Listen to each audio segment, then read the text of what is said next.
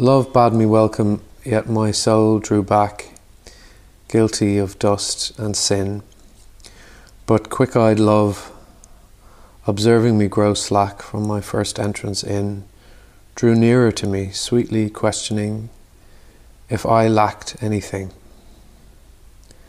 A guest, I answered, worthy to be here. Love said, You shall be he. I, the unkind, ungrateful. Ah, my dear, I cannot look on thee.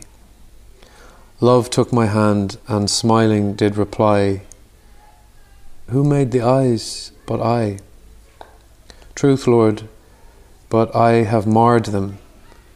Let my shame go where it doth deserve. And know you not, says love, who bore the blame? My dear, then I will serve. You must sit down, says love, and taste my meat. So I did sit and eat.